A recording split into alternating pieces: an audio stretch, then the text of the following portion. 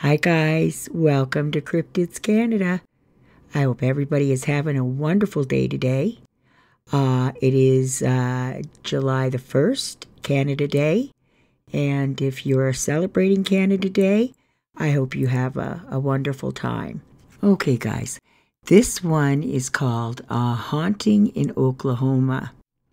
I have literally had to start this video over three times. I am looking at the title. It's highlighted. It says A Haunting in Oklahoma. But for some reason, I kept saying A Haunting in California. I'm looking right at it. And so I'd have to go back and restart. But I actually got five minutes into the story, went back to check the editing, and realized that I had said California again. So I had to restart the whole thing because cutting and clipping is a big pain in the neck. Anyways, so this is called A Haunting in Oklahoma. Oh my gosh, I actually got it right. Okay, guys, on with the story, finally. Many years ago, we lived at the end of a long road. It was actually the last house on the left, although this has nothing to do with the story. Previous tenants told us of odd things happening, but we didn't believe them. Our disbelief was short lived. It began with my four year old daughter screaming at something she had seen in the living room. She said it was a black cloud and that it crossed the room and disappeared into the corner. We dismissed it until my wife's sister visited a few days later. She said the cloud reappeared from the same corner and enveloped her two little girls. Later the same day, my wife saw the cloud come from the corner and wrap itself around her. She said it was suffocating, hot, and stank of sulfur and burning meat. The cloud seemed to only manifest itself around women and girls. Unfortunately for my sons, males were not spared the haunting. The front door of the old house squeaked loudly, and no amount of WD 40, graphite, or silicone gel would quiet it. Now, to understand the layout of the house, one has to realize that it was built into the side of a hill. The front door faced the west, and one would have to enter there onto the second floor which is where the living room, dining room, kitchen, and bathrooms all were. The bedrooms and laundry room were on the first floor, which could be accessed by the east facing back door. One night, the boys, aged eight and six, heard the front door open, so they went to investigate. In the open front door, they could see an odd green colored mist. When they approached the door to see where the glow was originating, the glow disappeared. The younger boy discovered the specter's aversion to pleasant smells. My wife set out a store bought air fresheners, but this was useless. Once a room would be vacated, the fresheners would close. It was my younger son who pointed out this phenomenon as well as the fact that scented candles would extinguish themselves once the room was empty as well. The older boy was beset with his own terror. Frequently, he would wake up on the bottom bunk to find a horrific and contorted face shrieking at him. The face was aged and wrinkled, and the gender of the entity was undefined. He would also learn to put away his playthings. One night he was roused by the sound of his toys moving around on the floor. He looked to see small black beings moving trucks, warships, and cars against the door, as if to barricade it from entry. When they noticed that he was watching them, they turned and began climbing the covers, trying to get at him. He screamed, and I came running to find him clinging to the bottom of the bunky boards of his brother's upper bed. Up to this point, I hadn't seen anything, so I was still somewhat skeptical of all the stories. That changed on the last night of the haunting. We were asleep downstairs, and I was dreaming. I dreamt that I walked into our bedroom, but there was no bedroom furniture there. It was furnished as a living room, and on the sofa sat the most beautiful red-headed woman I had ever seen. Now, my wife, beautiful in her own right, is a brunette, but in this dream, I knew the redhead to be my wife. She was crying, and she turned and looked at me with fear filled eyes. I should have had pity for this woman, but all I felt was rage. She cowered into the arm of the sofa, and I started towards her to continue the beating I knew she deserved. It was when I heard a voice that I realized that the dream had been silent up until that point. In my dream, I knew that this was because my wife was deaf. The voice I had heard was this of a six year old. I turned and looked to the doorway to see my real life son standing there in clothes I had never seen before. He was wearing black pants and long sleeved red pullover. He was soaking wet from head to toe, and his skin appeared ashen and lifeless.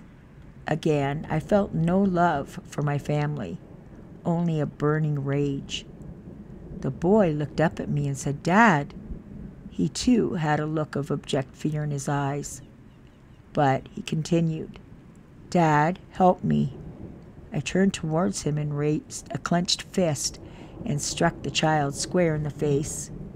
Suddenly I woke up sitting in bed, my wife sitting up as well, screaming at me.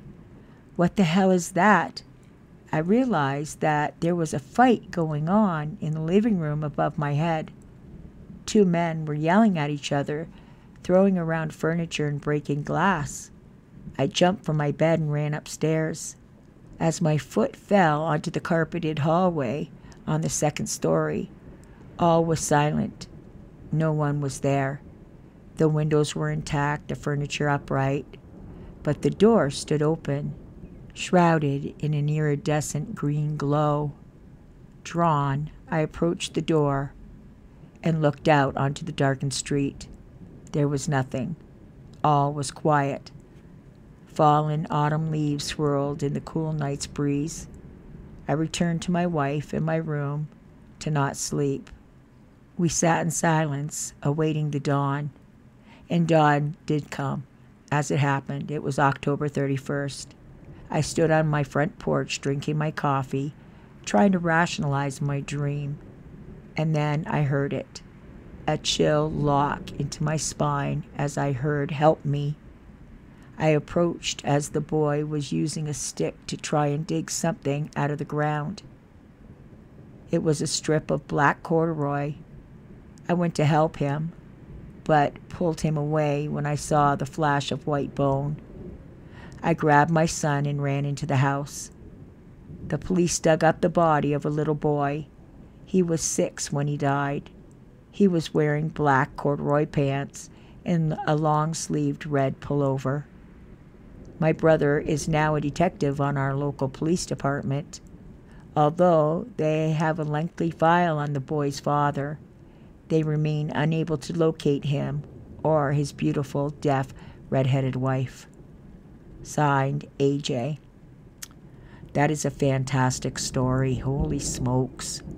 I am seriously left with so many questions. Um, holy, I would love to just have a few minutes and talk to you. holy, that was a really good story. And guess what, guys? He sent us a second one. So instead of leaving us hanging like I do to you guys with my book, I'm going to start reading the second story now. This one is titled The Old Woman's House. In the fall of 1972, my family would soon be moving away from the OKC area, so I knew this would be my last Halloween with my best friend Butch. His real name was Frank, but his dad called him Butch as a baby, and the name stuck. He and I had just started the fifth grade. Due to the way their birthdays fell, Butch's older sister, Patty, was in the same grade with us. She was only 10 months older. The three of us had been friends since first grade, and we spent a lot of time together since their grandparents lived next door to my family. Across the street and down the block, just a ways, lived T. Dalton. He was an a hole.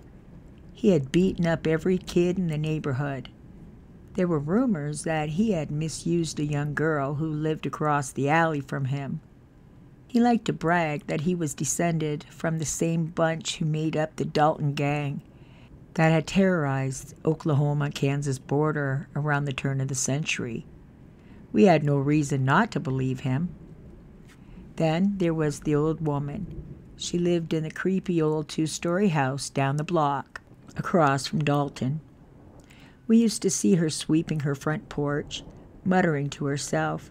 She never talked to anyone, and it seemed no one ever came to visit her.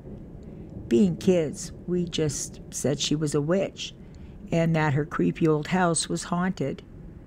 The only lights we ever saw in her house appeared to be from candles that she carried from room to room.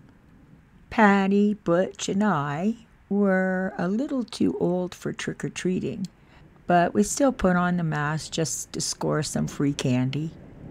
We stopped just before we got to the old lady's house so we could decide whether or not to cross Northwest 10th Street and go to the houses over there. We just made up our minds to do so when Dalton stepped from the shadows and grabbed Butch in a headlock. Butch was screaming to be let go of. Patty and I were punching and kicking Dalton with all we had. He backhanded Patty and then grabbed me from the throat and said, If you want me to let him go, you're going to have to go and bring me the old witch's broom. I said, She ain't a witch, and you know it. Now let him go. You're hurting him. Yeah, I'm gonna keep hurting him until you bring me that broom, he said. Patty and I ran up the stairs and looked all over the front porch, but we couldn't find the broom. She must have taken it inside. I shouted down to Dalton, Now let him go. Butch hadn't given up fighting, but the more he fought, the tighter Dalton squeezed his head. Then you're going to have to go inside and get it, he said. I yelled, I'm not going in there. Just go get it, yelled Butch. This a hole won't let me go if you don't. So Patty and I tried the front door. It was open. The house was dark but we could see well enough to tell that there wasn't any furniture in the parlor or living room. I found the broom and whispered for Patty as I went out the front door. The door slammed behind me as I threw the broom down to Dalton. When he reached for it, he lost his grip on Butch, who promptly broke free and kicked him right square in the privates. It was the first time any of us kids had put Dalton onto the ground. Butch ran up to me, smiling at his triumph. Where's Patty? he asked. She was right behind me, I said, as I tried to open the door. It was locked. It was an old style lock that required a skeleton key. We tried to, looking through the windows, but we couldn't see anything. I started pounding on the door as Butch ran around trying the back door. No luck. We were frantic. Butch finally threw caution to the wind and broke one of the front windows. He unlocked and raised the sash, and we both climbed inside. We couldn't find a light switch, but we did manage to find candles and matches. We looked all around the first floor, but could not find Patty. We also noted that the dining room and kitchen also had no furniture. Then we saw Patty cross the hallway and go into another room upstairs. She had no reason to go up there, but that was the only place that we hadn't looked yet. We crept up the stairs and found nothing. No Patty, no old woman, nothing but empty rooms. Completely empty rooms. It was as though no one had lived there at all. We were no longer being quiet. We ran from room to room, yelling for Butch's sister. You better go get your dad, he said without thinking. I grabbed the front door and opened it freely. I took hold of Butch's jacket collar and pulled him out with me and shut the door. What did you do that for? he asked as he tried to go back in. The door was locked again. That's why, I said, as I ran to go get my dad. Mom, Dad, Butch and Patty's folks, and everyone else came running. Still, we couldn't find her. They eventually called the police, who went over the house with a fine tooth comb.